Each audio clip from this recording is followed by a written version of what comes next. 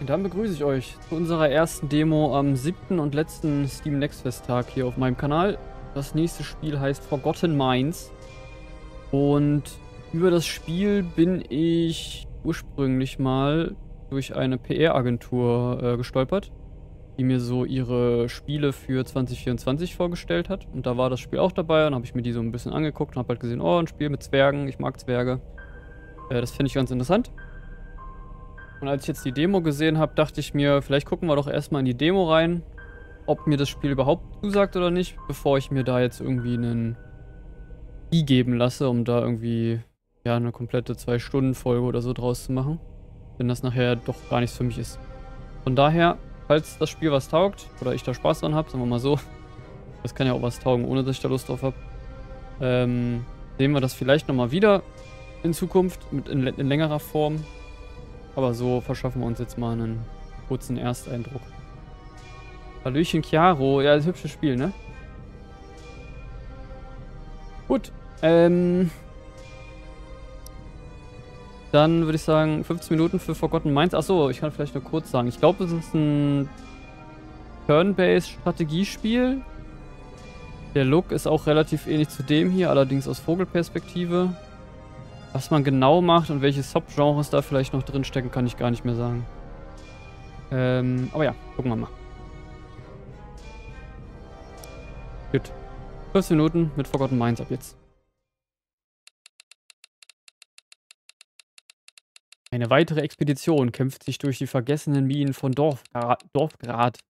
Die einst florierende Hauptstadt der Zwerge und ihre produktivste Mine. Randir, Balimor und Krälin bahnen sich seit Tagen mühsam...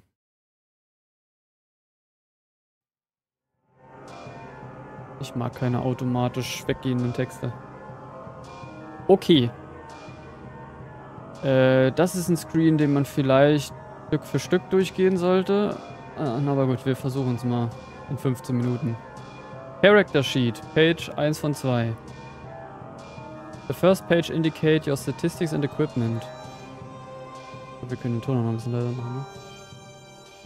Ne? Um, attack is added to physical damage. Defense reduced enemy damage. Critical hit chance when attacking. Ist da. Movement determine how far you can move with one AP. Magic Power und Healing Power. Character Sheet 2 von 2. The second page indicate the base traits and perks of the character and the ones get get at each level. Okay, können wir hier so zwischen hin und her switchen. Okay, habe ich glaube ich verstanden. Active Carrier with actual action points and list of skills. You can't have more than 5 AP at the same time. Your iron and gold can be used to buy or upgrade item during the run. Gems will allow you to upgrade your expedition between runs. Okay, also das ist für, also das ist Roguelike auf jeden Fall schon mal mit drin, I guess. Setting Menu, Inventory Slots. You manipulate item by drag and drop over character item slots. Wo haben wir die Character Items? Weiß ich noch nicht. Ah, die hier wahrscheinlich, ne? Ähm, bin for destroying them. Or merchant chest to sell it. Take care, it costs AP to equip items during combat, but potion are free of use. Turn count. Manually skip turn button can be changed in the settings. The last turn before reinforcement will never skip without player validation. Extra position dungeon and list of floor rooms. Okay. Nächste Seite. Ach du Scheiße. Okay. As the leader of the expeditionary force, your goal is to retake the mines from the demons that stole it. For this, you will have to go through four floor with five rooms each. In each room, a room, you will have to defeat all present enemies within the turn limit before advancing. Wundert mich ein bisschen, dass die englische Übersetzung ein bisschen holprig ist. Frag mich jetzt direkt, wo das Spiel gemacht wurde. Remember, Cellar and Blacksmith are costly. Do not forget to collect some iron and gold ore from the mines while progressing. You will have 8 turns in normal room and 15 in boss rooms. Don't worry, not the end if you go over the limit, but 3 waves of reinforcements will come and you don't want your expedition to be in the room in the last one. So, dann haben wir hier noch so gelbe, äh, weiße Sparks irgendwie. Each character begins with two action points. Also das sind die unten links. They will gain more at level 3, 5 and with items. You can use AP to move or to use skills. The movement distance for one AP is indicated by yellow zone. Und bei dem Stiefelsymbol, okay. Skill list and cost is indicated on the bottom left when selecting a character. Das sind dann die hier, I guess. The attack zone will be indicated by a red zone. Take care. When a hero is out of AP, he will be unusable, even for zero cost skills. Okay. So, some big skill will add fatigue point. Ist dann doch nochmal was anderes als das da. Each fatigue point will improve the AP cost of fatigue related skill by one. If you have two skills working with fatigue points and use one, the AP cost will improve for the two skills. Fatigue can be generated by other means, for example, a unit with movement lesser than one when moving generates one point of fatigue. Das habe ich nicht verstanden. Once all the enemies are beaten, this button will appear, allowing you to go further into the mine. Take your time, but remember, reinforcement will come if you stay too long in a room. Ja, okay, also ich würde sagen, das Spiel ist noch in einem sehr frühen Stadium, dass die das Tutorial in so einer Art und Weise darstellen müssen. Ich hoffe, das ändern die noch, weil das ist, äh, weiß nicht, das ist nicht so gut. So, wir haben jetzt hier unsere drei Charaktere.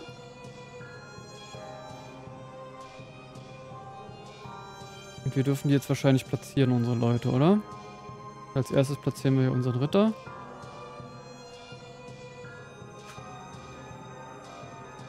Dann unseren Bogenschützen und unseren... Ah, shit, jetzt habe ich es genau andersrum gemacht. Das ist, glaube ich, nicht so schlimm. Hätte ich aber vielleicht eher andersrum gemacht. Könnt ihr noch tauschen? Ah, oh kack, ich kann alles immer neu machen. Okay. So.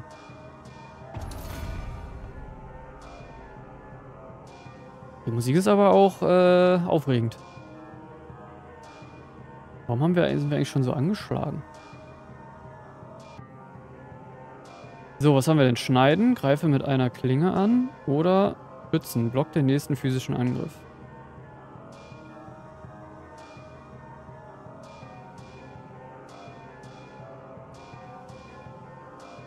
Ja, wir greifen da jetzt einfach erstmal, wir schneiden immer hier durch den, die Bogenschützen, die in die vordere Reihe gepackt wurden.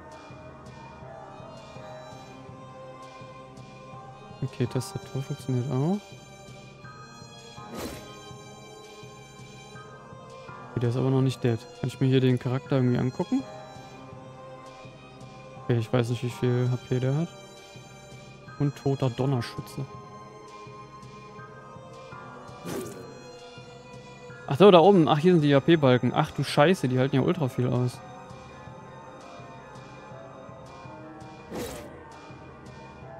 Jetzt aber mal gespannt, ob ich hier über die anderen äh, drüber schießen kann. So, zuschlagen, ein donnernder Hieb, heilen, läutern, hebt alle negativen Effekte auf, steckt deine Resistenzen, lässt einen Eisspeer aus dem Boden schießen. 3W6 plus 10. Okay.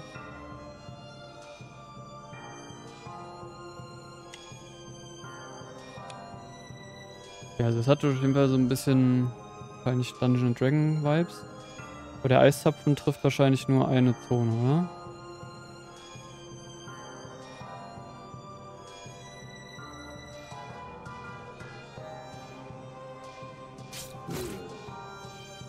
Okay, jetzt können wir uns aber auch mehr leider nicht leisten. Okay, wäre jetzt auch die Frage, wie hätte ich vielleicht schon heilen können, wo unsere Leute doch schon angeschlagen sind.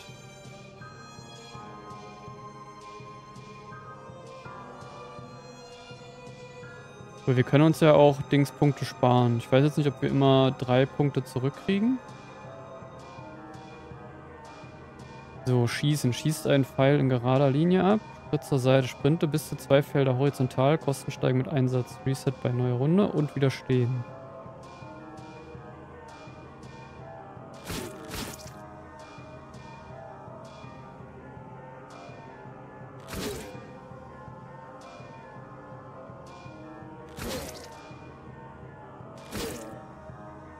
Okay. Ja, der kann ja eh nicht zuschlagen.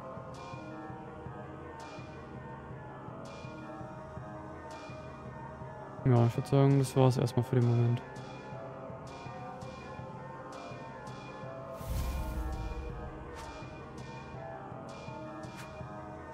Habe das Gefühl, das sind irgendwie ein bisschen viele Gegner. Ich bin... Ja, klar. Meine Einheiten sterben sofort. Okay. Wir werden also sofort bleiben. Gut. Cool.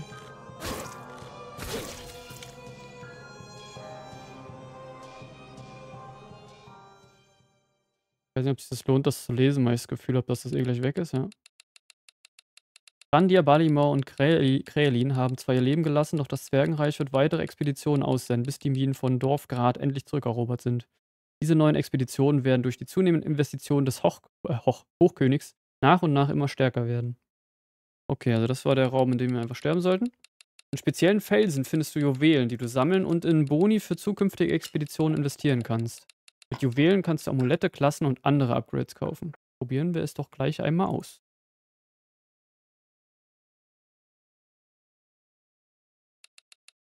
Hm. Wähle eine neue Klasse und erhalte. So, Streiter, Berserker oder Dieb. Klingenstich, ein brutaler, durchbohrender Angriff mit der Spitze des Schwertes. Du bist außer dir vor Zorn drei Runden lang plus 15 Angriff, minus 5 Verteidigung. Und die geben alle zwei Dinger. Die Bitze dem Gegner ein wenig Beute. Er hat aber ein Schild. Viele Klassen? Darf ich jetzt drei Klassen wählen oder? Wähle ein neues Amulett und erhalte. Amulett des Hammers erhöht den Schaden gegen Goblins, Schaden gegen Orks, Schaden gegen Felsen, Schaden gegen Truhen oder 30 Eisenbahnen. Ja, keine Ahnung.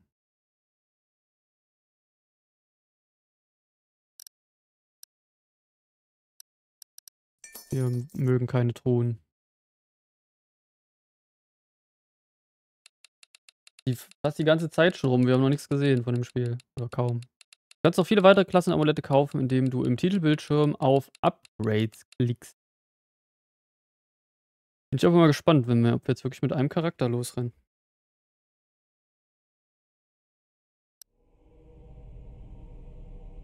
Nee.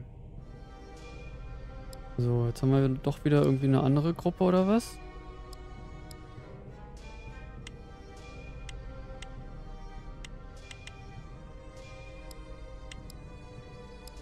Achso, hier sind jetzt unsere freigeschalteten Charaktere.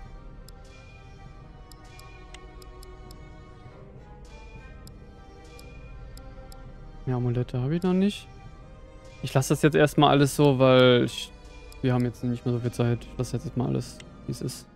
Es bleibt alles so hier, wie es ist. So. Die fruchtbaren Hallen. Oh, sind auch schon wieder viele Gegner. Die halten hoffentlich nicht so viel aus.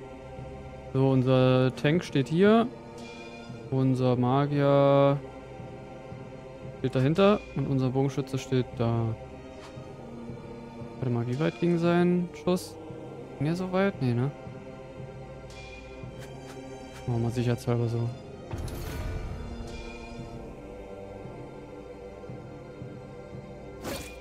So, guck mal, jetzt kriegen die ja auch ein bisschen Damage.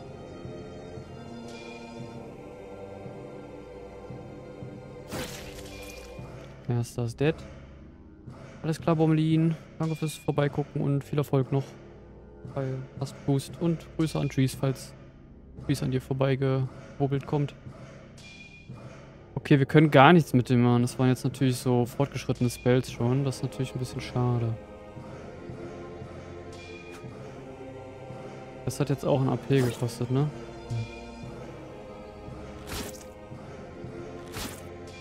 Das ist auch ein Problem. Hat der jetzt den Schlüssel aufgesammelt? Ich glaube schon.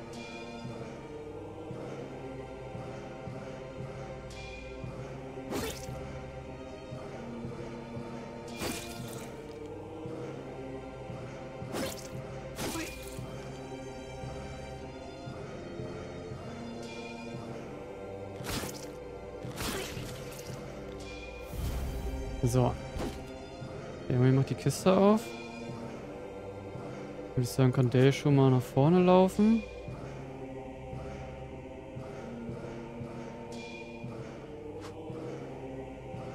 Hier sammelt den Schlüssel ein. Dann sammeln wir hier ein bisschen Zeug ein.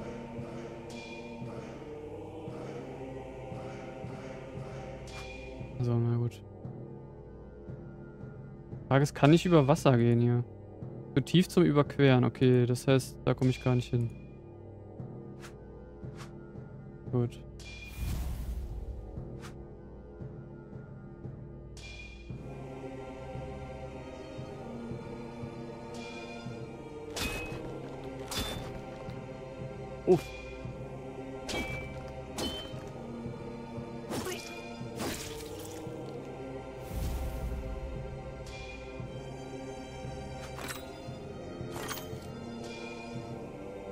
Ist das?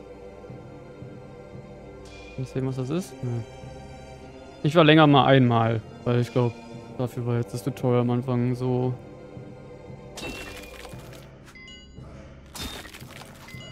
So.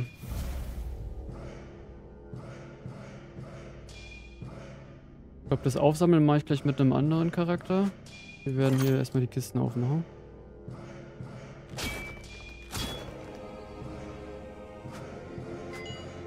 So, was haben wir da jetzt bekommen? Handschuh. Ein gut gefertigter Lederhandschuh mit einem Rüstung. Das heißt aber, okay, der hat schon dann kriegt der erstmal den Handschuh. So, was haben wir hier noch? Vampirschild. Kann scheinbar nur der eine tragen. Verteidigt nur jene, die bereit sind, den blutigen Preis zu bezahlen. Okay, was ist denn der blutige Preis? Gibt auf jeden Fall 8 Schild. Kann ich hier irgendwie vergleichen mit dem, was ich habe? Okay, meiner macht einfach nur 3. Ja, why not? Ankü.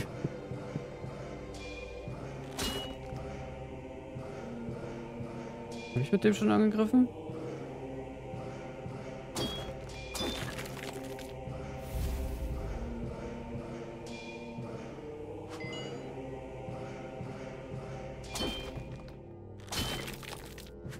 Oh, das sind ja diese Kristalle, die sind wichtig. So, jetzt kommen die Verstärkungen gleich. Aber ich kann jetzt, glaube ich, auch in den nächsten Raum gehen, ne? Aber jetzt kann ich das hier nicht mehr aufsammeln. Das ist natürlich schade. Hätte ich doch nicht den hier anhauen sollen vielleicht? Naja.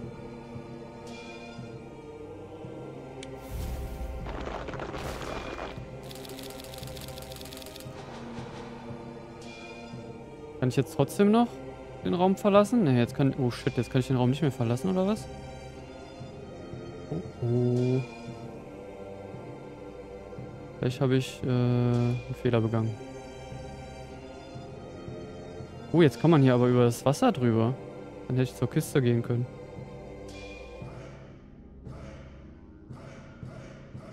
Eigentlich wollte ich ja nur das hier aufsammeln. Oh shit. Die halten ein bisschen was aus.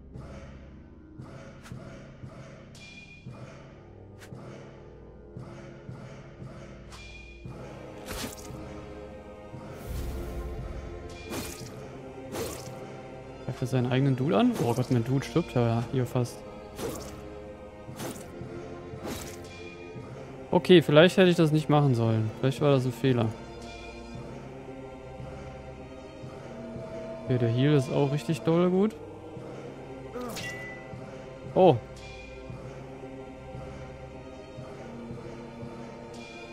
Vampirschild. What is happening?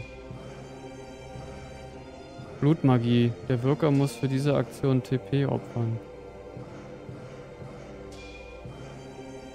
Ich passe gut ins Character Design.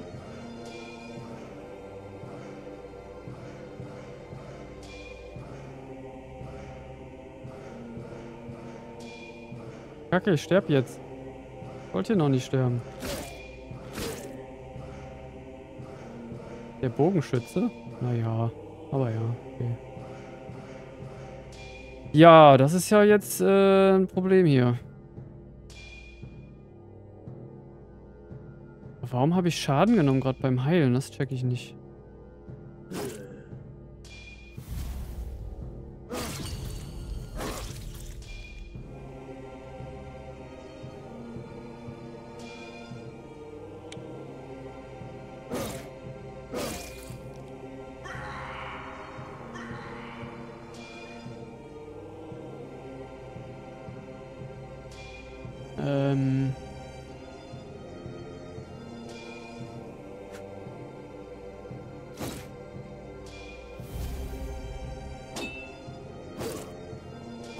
Natürlich ein bisschen doof, dass ich jetzt nicht einfach fliehen konnte. Ich bin auch nicht tot. Okay, wir sind direkt gestorben. Perfekt. Gut. F-, das habe ich auch verdient. So, ich versuche mal ganz schnell nochmal eine neue Runde zu machen. Das ist dasselbe nochmal? Ja, ne? Ja, das ist dasselbe nochmal.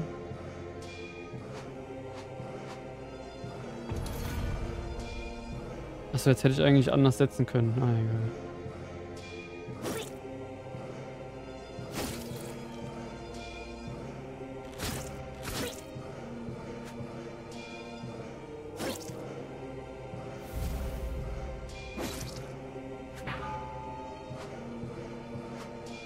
Gut, aber bis jetzt hat es mich leider noch nicht so bekommen, muss ich sagen.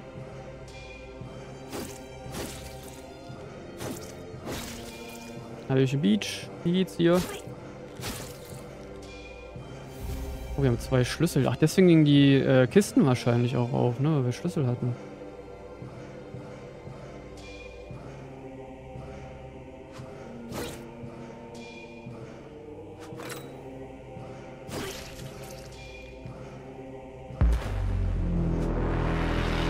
Timer vorbei.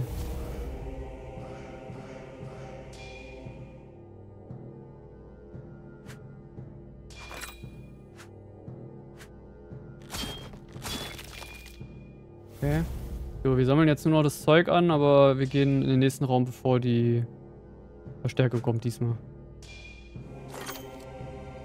Okay, wir kriegen aber auch anderen Loot diesmal.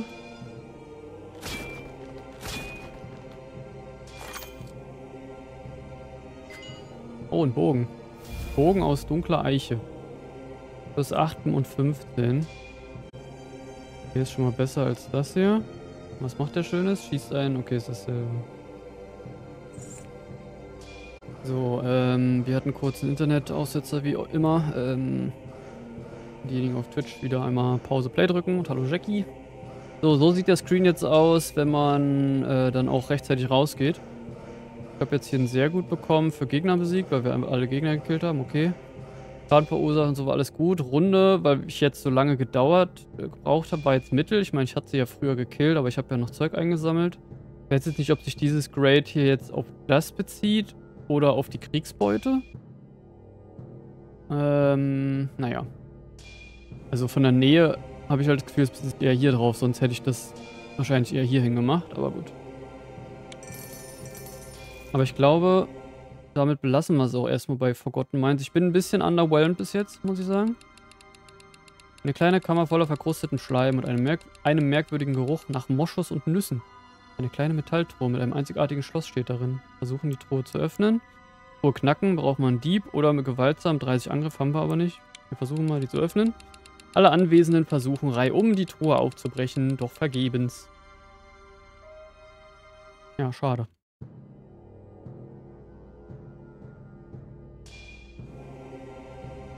Jetzt sind wir halt einfach im nächsten Raum. Ja, okay.